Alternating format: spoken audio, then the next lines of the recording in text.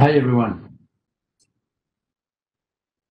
To start this presentation, we're going to go back to the beginning of the world. At the beginning of the world, but at a very specific world, the world of collections in C++. At the beginning of time, that world, there was nothing.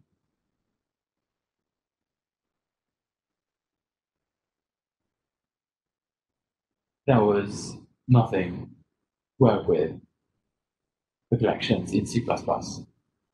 And then at some point in time, there was for.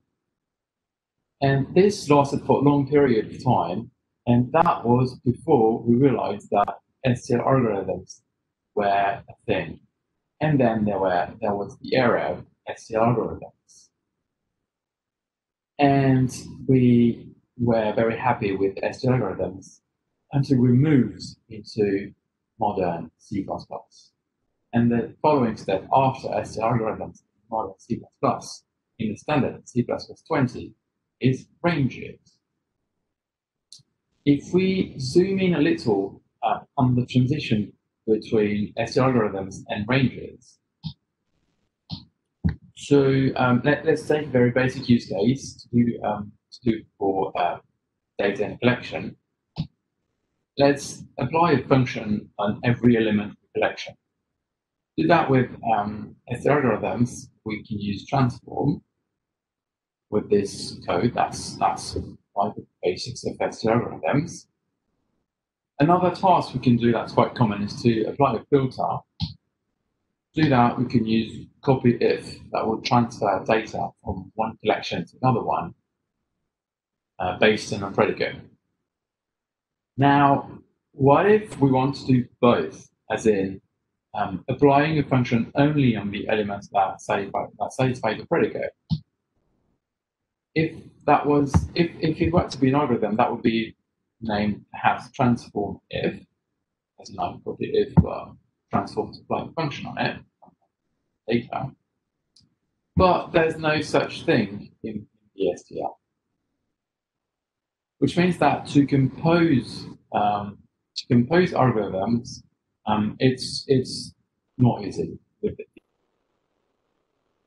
Now, to achieve that with ranges, this is extremely easy, right?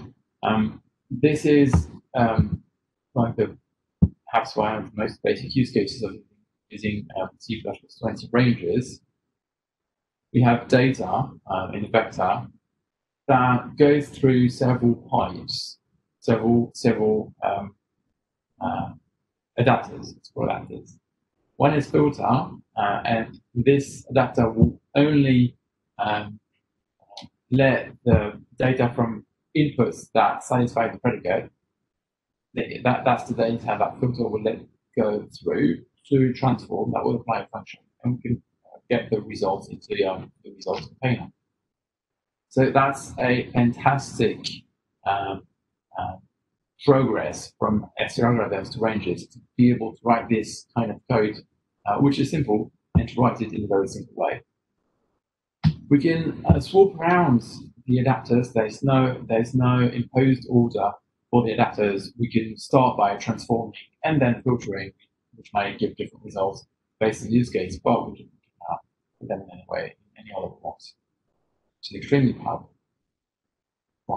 Now, um, if we focus on, on this piece of code, and if you try and, and um, see what's going on uh, when this code gets executed, uh, for example, let's add a bit of logging um, just to monitor what's going on in this code. Um, um, just take a second to think what this code is going to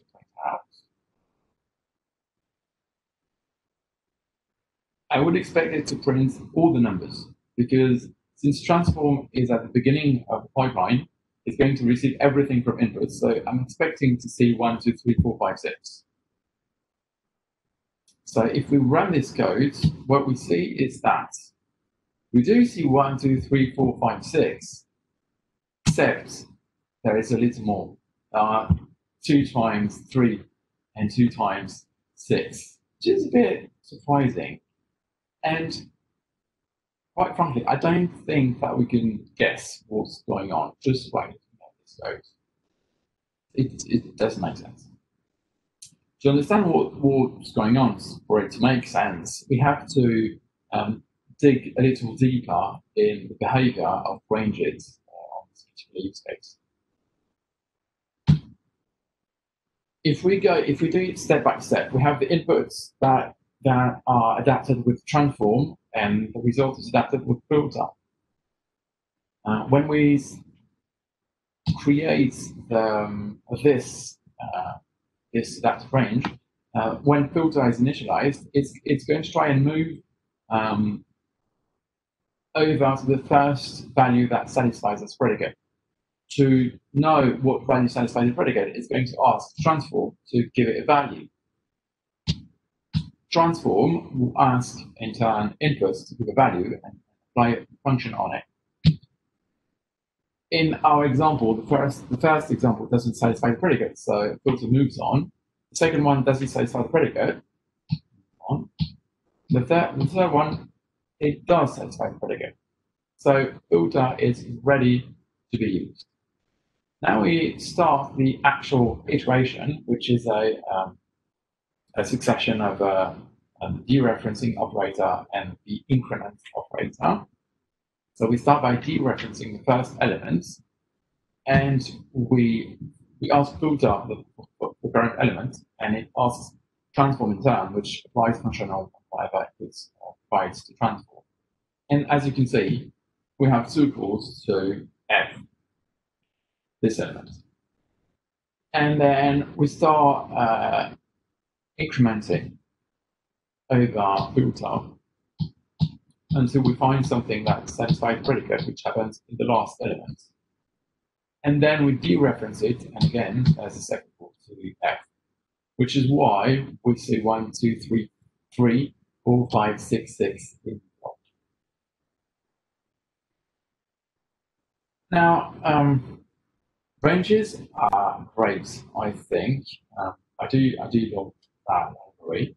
Now, in this particular case, um, it's, it has some, it, it's a surprising behavior, especially if f um, is slow, for example, if f takes up a lot of resources to run, or if it has side effects, for example, it doesn't behave the way you like it to behave. I actually stumbled on, on upon this because my program using ranges have surprising behavior and, and I debug and find out what was happening.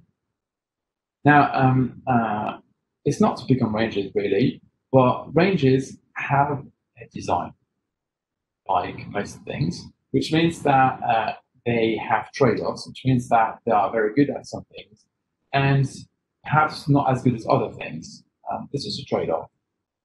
Now, um, the, the, the design of ranges that um, causes the, this trade-off is that ranges are based on a pull model, which means that every um, component in this pipeline um, pulls data from the one before it.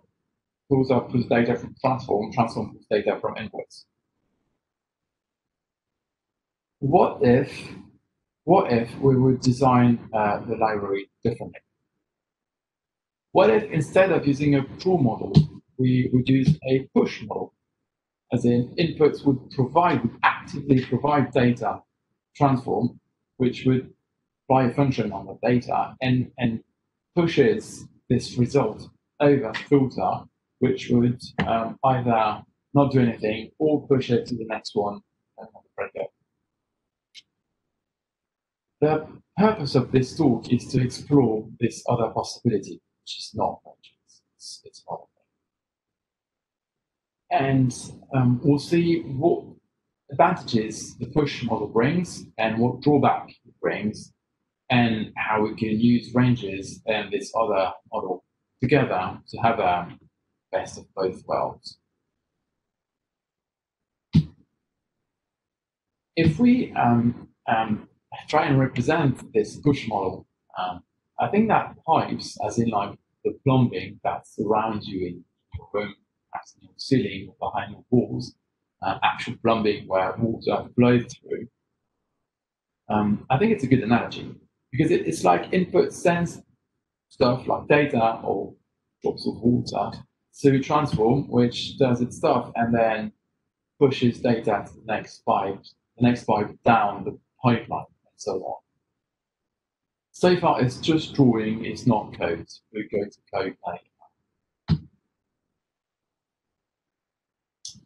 Um, now, um, if we if we imagine this uh, push model with pipes, and we go back to our example of starting with the transform and then filter, then this would behave like that. And, and we have to put something at the end because filter has to push data to something.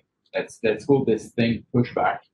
And let's say that pushback is tied to container, like vector, for example, and just calls pushback on the data it receives, receives to, to add it to the container, uh, which is, is to. So let's see what's happening. We have one that goes to transform that has F applied on it. That goes to filter, that doesn't come out because it doesn't satisfy the predicate. Same thing, F2. And 3 comes in, comes out of transform, and that's this one satisfies the predicate, and it goes through pushback and ends up in the container. 4 doesn't satisfy the predicate, neither does 5, and 6 um, uh, satisfy the predicate and has the function applied on it, and it ends up inside of the container. So this is the idea of this push pipes model. Now, um, let's see some code. How, how do we write that in code? Um, well, the purpose is to write code that looks as much as possible like uh, like like the drawing. Right? So in code we have inputs that um, sense data as transform, sense data as filter, that sense data as pushback. Looks a bit like ranges really, but it's it's working with a push model as opposed to a pull model.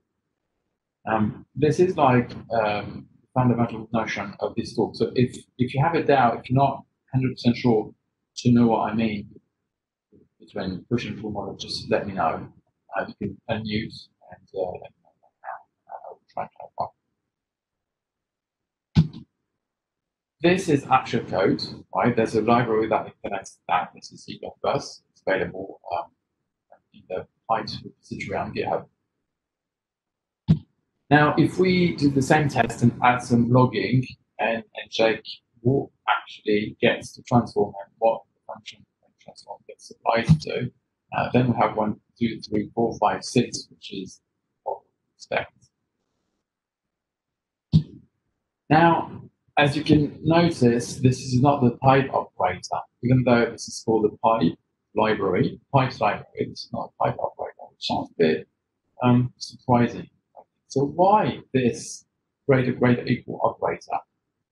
Well, if you look at the pipes and, and imagine data flowing in, uh, then the equal sign sort of like looks like a pipe, right? So this is made to represent this uh, fluid coming through.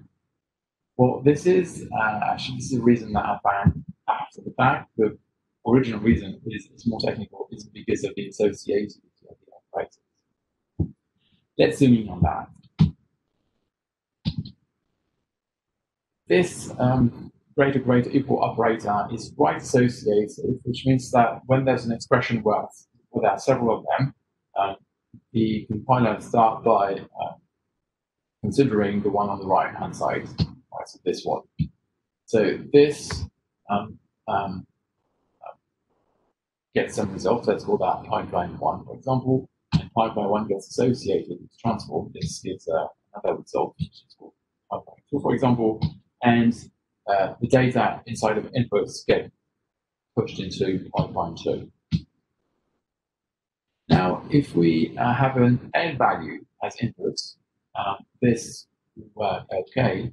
And if we have an R value, this was this will work just, just the same way. Now, if we um, have right associativity, that means that we have we have either L value or r values as inputs.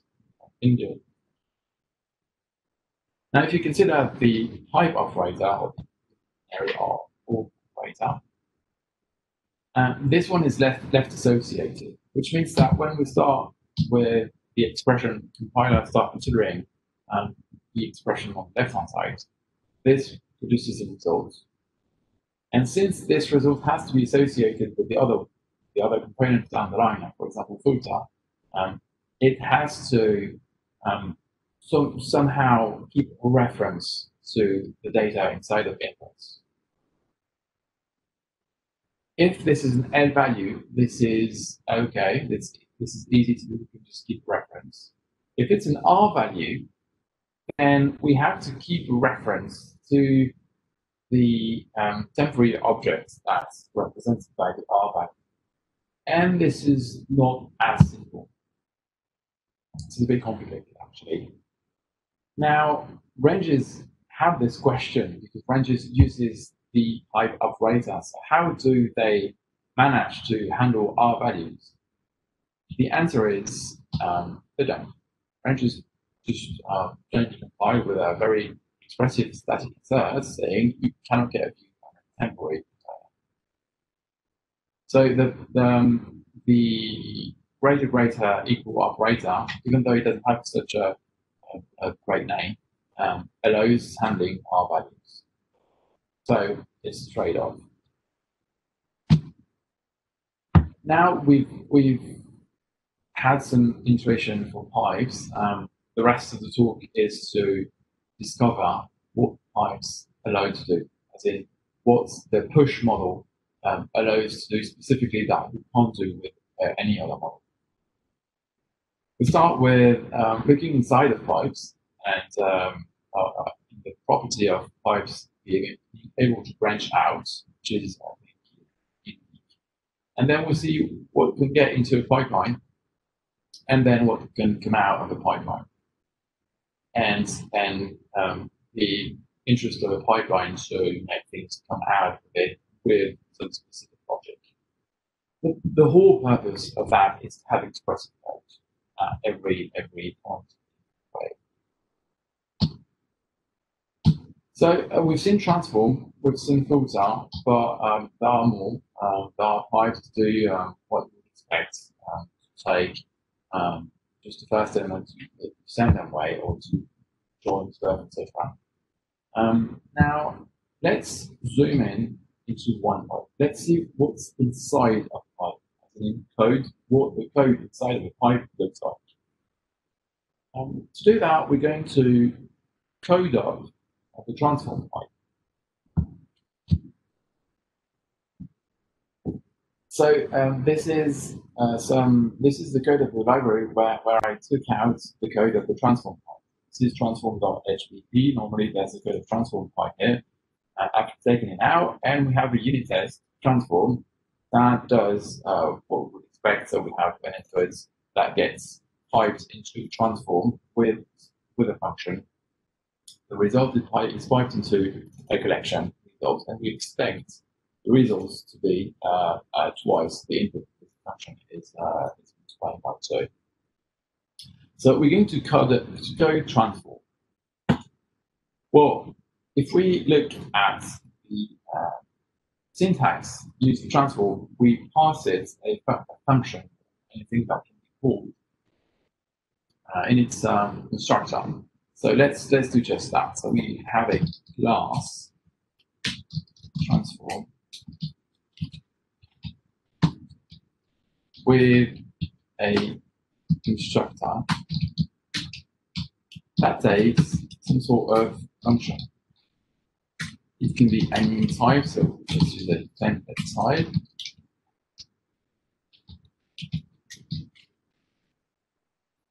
And um, it, it, sounds uh, natural to store inside of um.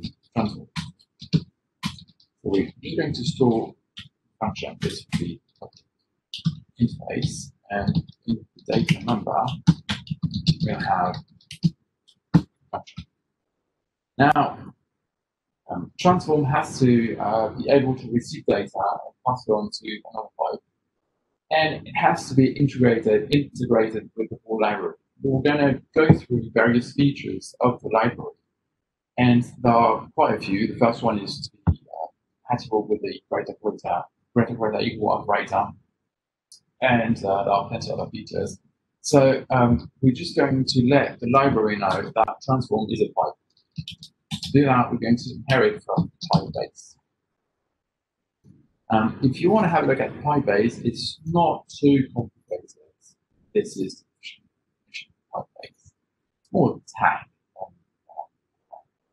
base class. It's just the tag to let the library know that this is the pipe, so it should uh, be treated as a. Right, now we need to make transform um, so its job of applying the function. To do that, we have just one uh, interface or function to implement, uh, which is called onReceive. And it takes a value, say value. So type type.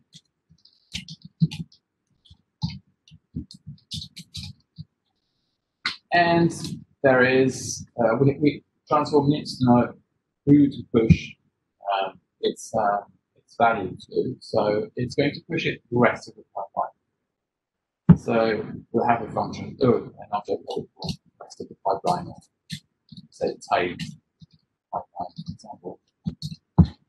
Let's not very valid style. It's just uh.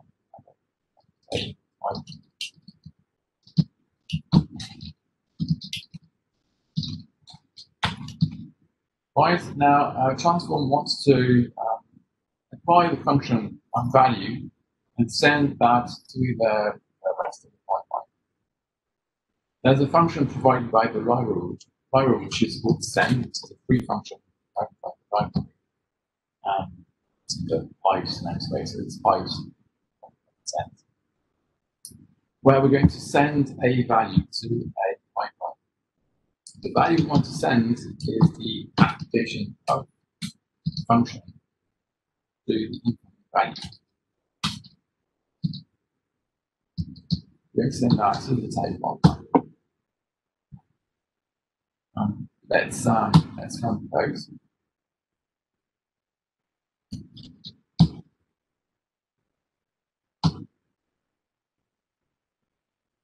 It's failed. Why is it failed? Actually, it's failed because the library is compatible with C++ 14. And back then in C++ 14, you had to specify the template types. It's a design choice to be compatible with C++ 14. So I think that it's a fairly reasonable trade-off between modern C++ and C++ that have in their production today. But that's okay, we'll just have the um, classic trick of uh, returning uh, the uh, template object with the helper.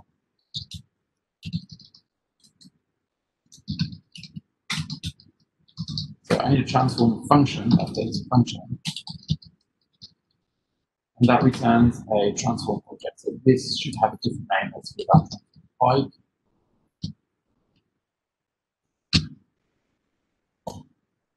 And we return a transform. transform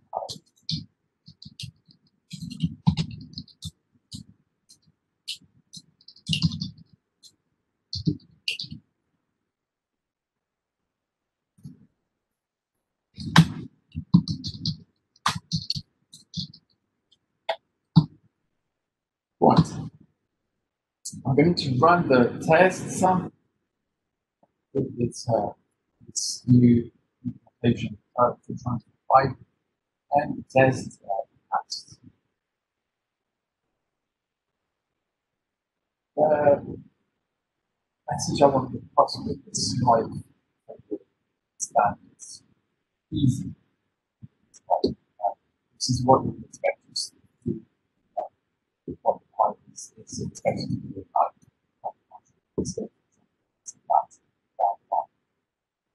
This is nearly the actual code for transform.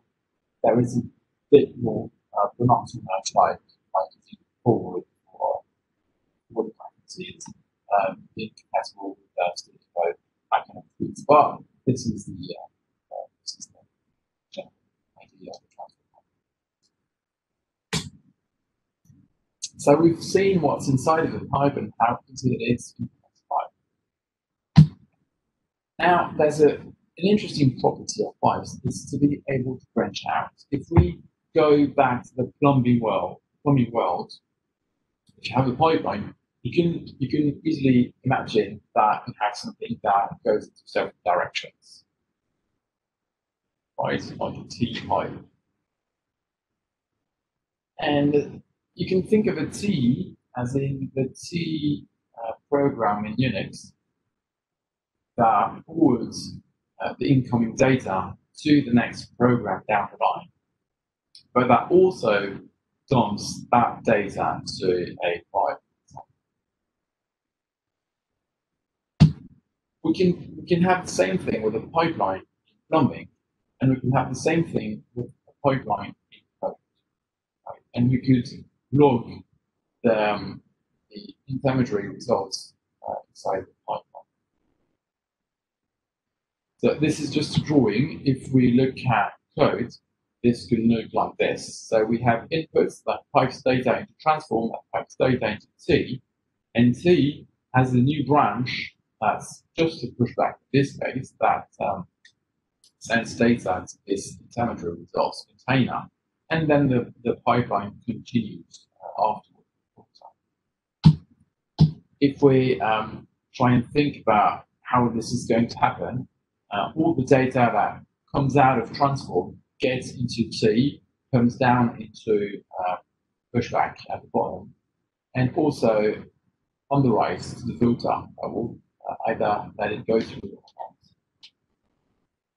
So this is a slightly more complex pipeline, um, and it's um, the nice thing about it is that it, the code looks like drawing, looks like it. T branches out in two directions and for the purpose of, of logging.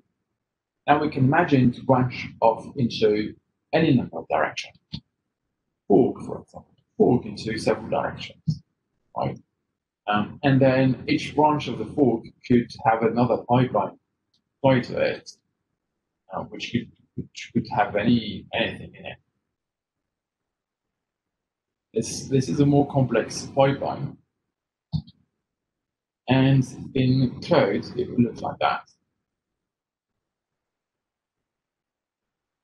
We have transformed that pipes into fork, and fork takes several arguments, each of which is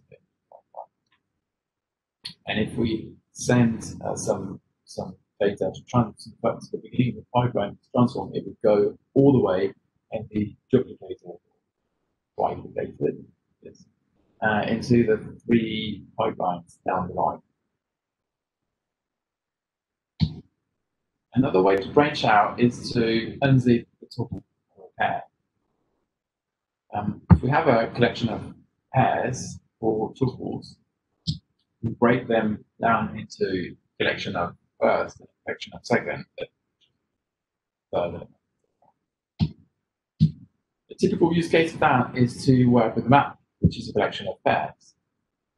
And if we can um, break down a map to a collection of keys and a collection of values with with code that just say that. There's no explicit. It's uh, nothing more than to say just break the tuple, break the pair off.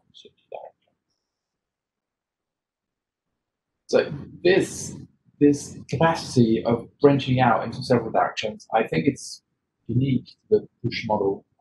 I think unique to Pipe. I haven't seen uh, uh, anywhere else.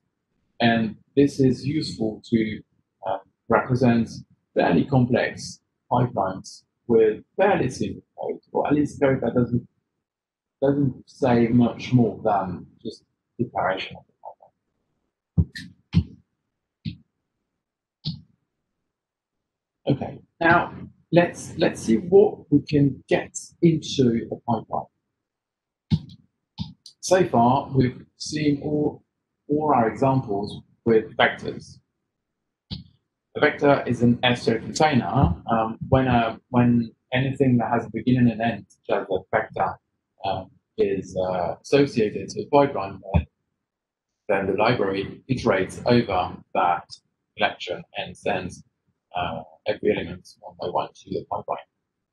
Now, it just needs a beginning and end, which means it doesn't have to be a necessary container, it can be range, which means that we can use um, anything from the ranges library.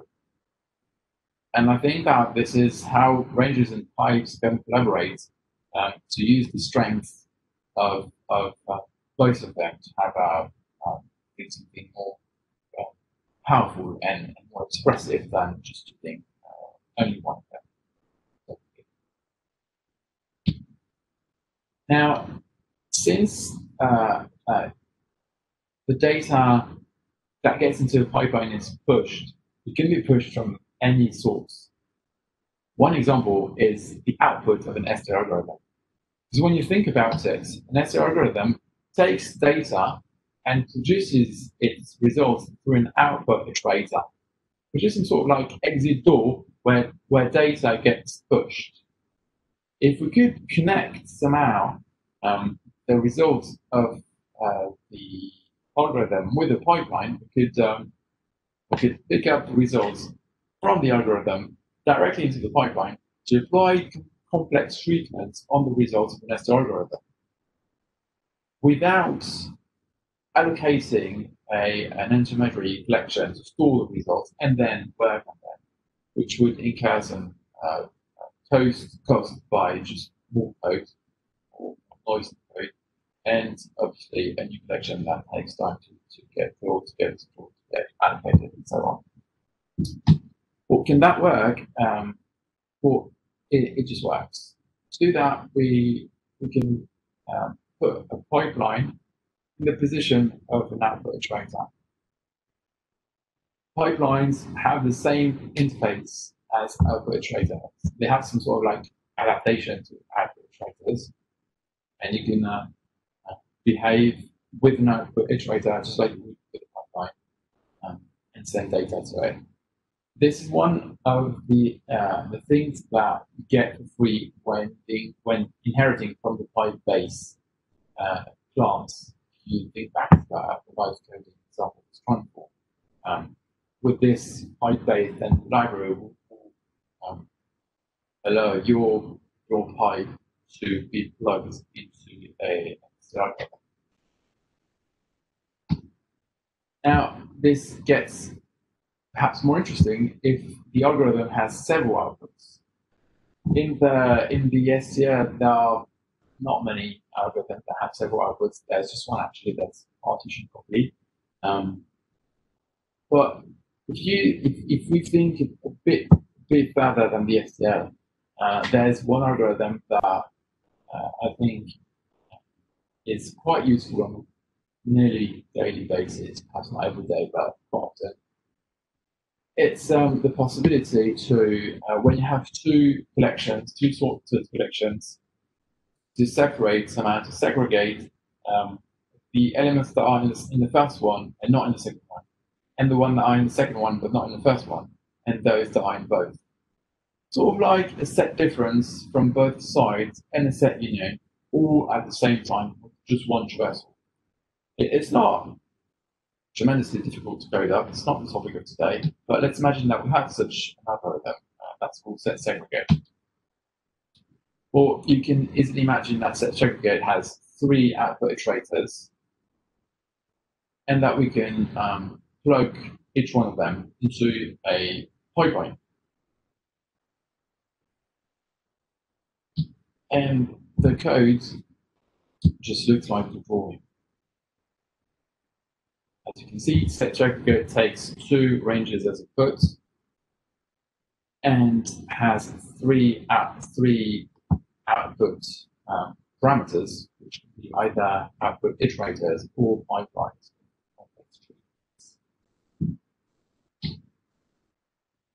So far, every pipeline has just one source of data.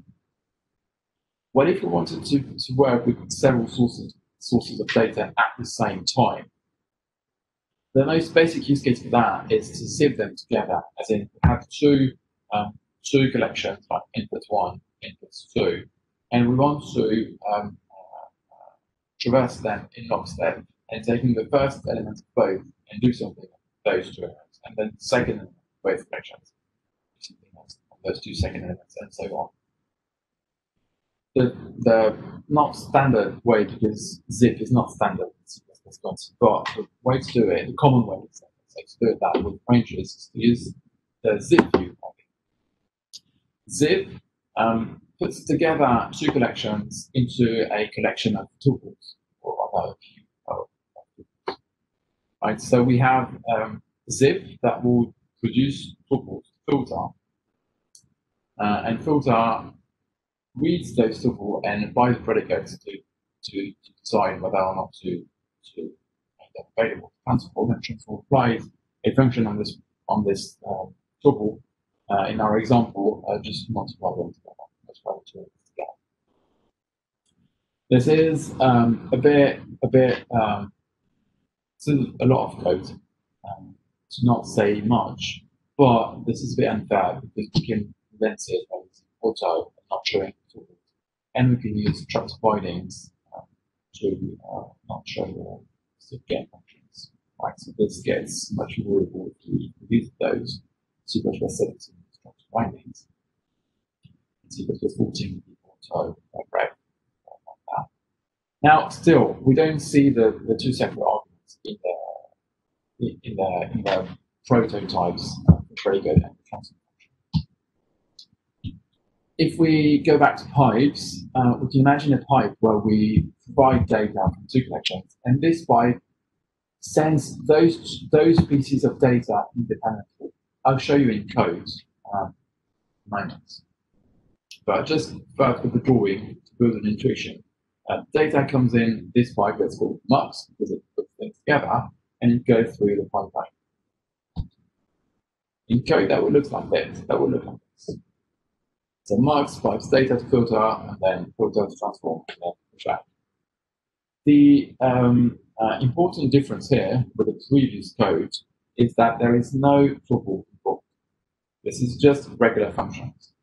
And this, this comes from, this is made possible by the push model because the push model just calls functions. It, it calls the next pipe. When you call a function, don't, you, can pass as many arguments as you want. You don't have to pass just one tuple to pass argument seven, right? which means that there is no tuple showing up. You don't have to open up a tuple, and you can see the parameters inside of the uh. And we've transformed this particular case, use std multiplies because this is a function that takes two parameters and, and, and, uh, and them together. How would we code that? Let's go back to the code. Uh, let's add a use case, mux.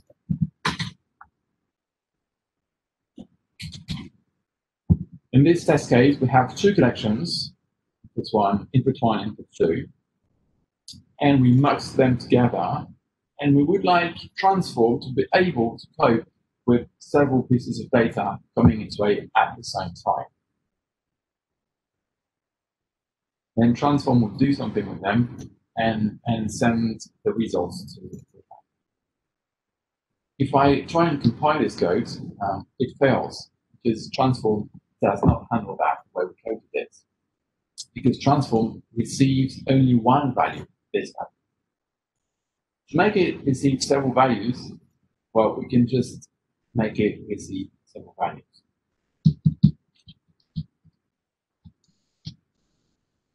So I just add rules and dot dot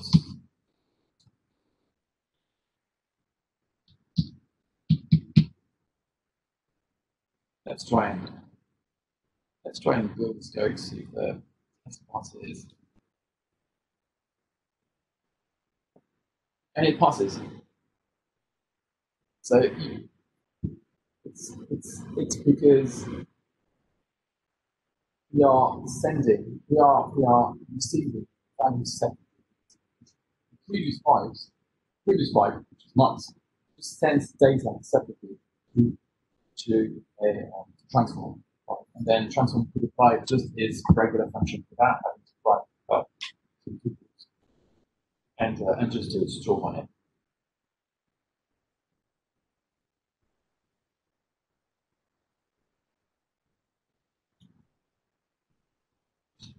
Let's see a, um, an example uh, just to get some impression of how to use pipes with uh, use case.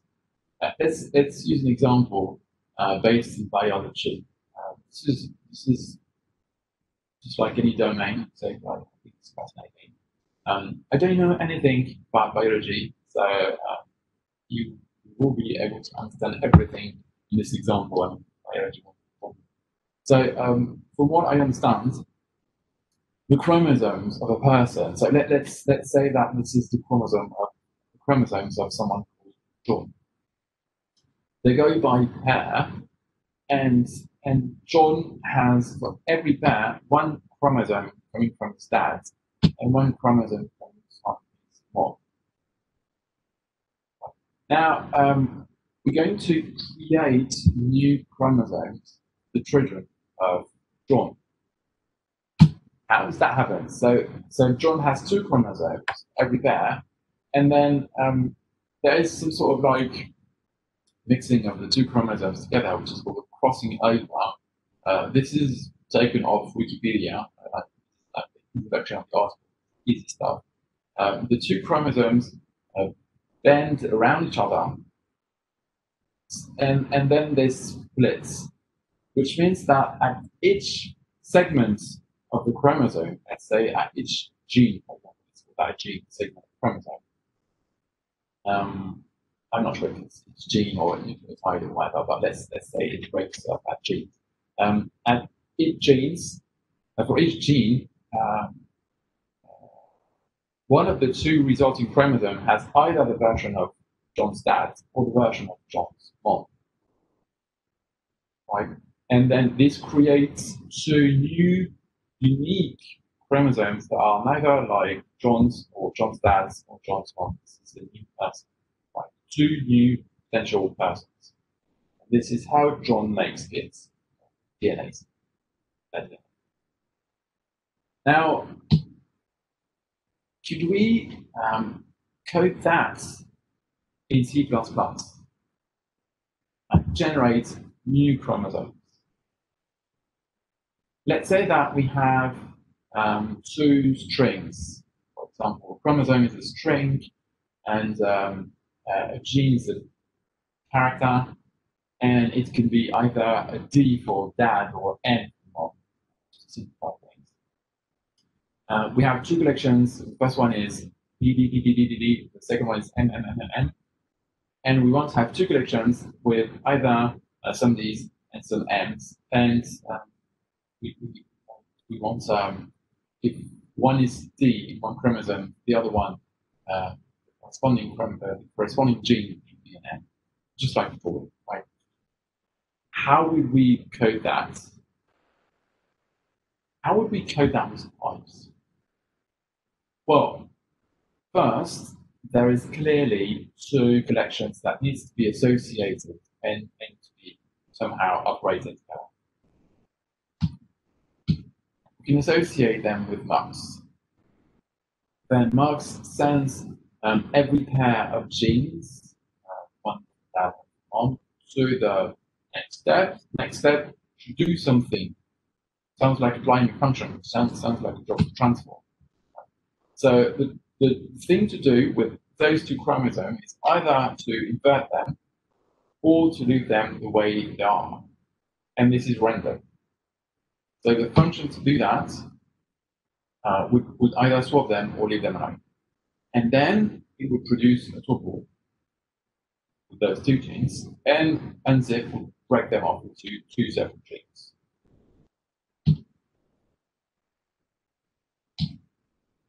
The crossover function um, draws a number um, randomly two possibilities and either swap the genes or just leave them the way they are. And if we assemble the pipeline and code it up, uh, it looks like this. have two strings about on, and we mux them, transform them in crossover, and unzip them push them back into the two children's from We run that program uh, on one run, it me that as, as randomness, so it doesn't get the same thing at, uh, every run, but it's the output run. And, and this looks like the drawing. And if we think if we think in terms of pipes, uh, then this code uh, describes the problem, uh, describes the domain problem uh, with not too much code. Another way to work with several collections is to work with every possible combination between the elements of the collection. To do that, we can use um, uh, you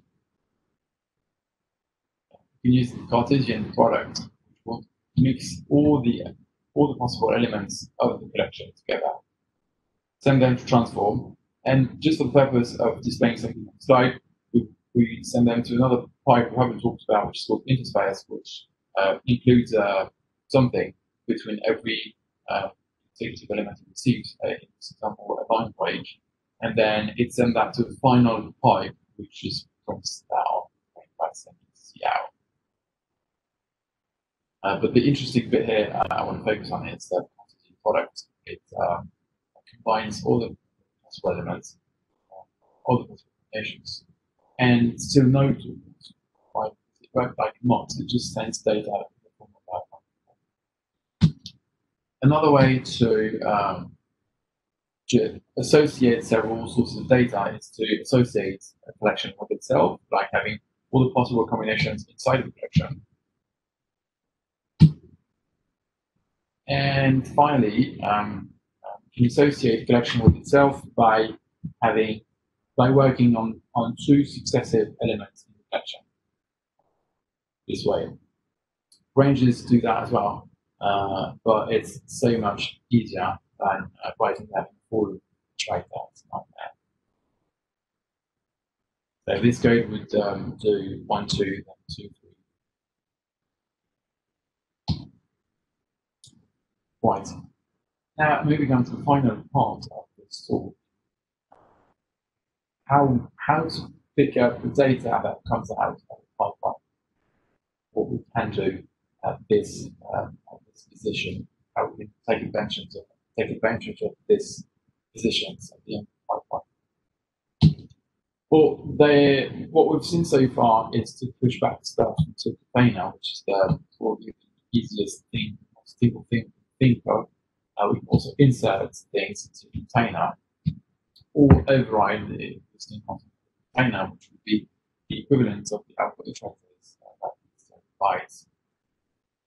But um, we can also um, do a bit better uh, for example, if we if you consider the student data output iterator, which is the STL, there's something a bit weird about it, is that it has to, uh, you have to pass it two values. The first one is the output collections, the collection, which makes sense.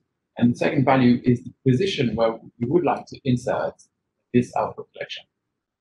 If it's a vector, for example, it makes sense. But if you want to insert into a set, for example, uh, specifying the, the position makes less sense. Um, it can be a hint at best, or it can be uh, uh, something misleading for the platform at worst. And in most cases, you just don't want to, to say anything, just like to insert stuff into the set and then the set do its job of having a sorted, uh, sorted data inside. So this is not really useful. So um, we just use insert insert. Now, if um, for some reason there is one branch of the pipe that we want to ignore, one branch of a pipeline or, or algorithm, any, any branch that we'd like to ignore, we can just cut it off uh, with the dev pipe, which is a very simple end pipe that's like there in know it's just uh data received But if you don't care about that data, uh, that's okay. And this allows to implement uh, some some algorithms in a very uh, aggressive way. Or you can do um, anything really. For example, uh, you can you can call your function. Uh, like the end of the pipe will, will be your function. This is particularly useful um, to work with legacy code. Because in, in legacy code, sometimes you have some homemade collections that don't have uh, uh, uh same interface as the STL, they don't have a pushback. You have some weird stuff um, to insert stuff into those actions. So you can just plug the legacy function at the end of the pipeline so that it, uh, you can at least use Hive's uh, modern C++, even though some part of it is still. Now, something that's um, also specific to the push model pipelines, pipes, is that you, you can write code at the end. Right, there is an end. Every piece of data is going to somehow come out to an end, doesn't doesn't go into port. Um, so you can write code at this end and and pick up the data and do something. Let's see an, interesting example. Let's say that we have um, a map something that looks like a map, for example, vector is a bit similar to the structure of a map. And we have a second one, right? And um, they have some keys in common, and they also have some keys that are specific to the collection. This example, two and three are in common between the two collections. And let's say that we would like to add the data of new entries into uh, the data of Uh, map, of the first map. Then it would be nice if we could aggregate the values on the similar keys. Because with the STL, you have two choices. Either if, if you have the same key, either you keep the, the existing one or you replace it with the new one. But quite often, we would like to, to have a bit of both, like to aggregate the new one the existing one. This is what map aggregator, which is an endpipe, does because of its position, it, it's at the right right location to, to do this draw. Uh, so if we have this function concatenate string, which is uh, essentially the plus operator, you can just uh, just concatenate the values uh, in those maps. So at the beginning, my map, uh, sorry, at the end, my map contains uh, this with the, with the keys two and three with the aggregated values. Now, we've seen a lot of uh, advantages of pipes and um, of the push model, but this uh, wouldn't be a fair analysis if we didn't have a look at the limitations. Because pipes have a design that they have a trade, they have some trade-offs, and there are things that they do well, things that they don't do so well. So, what are those limitations?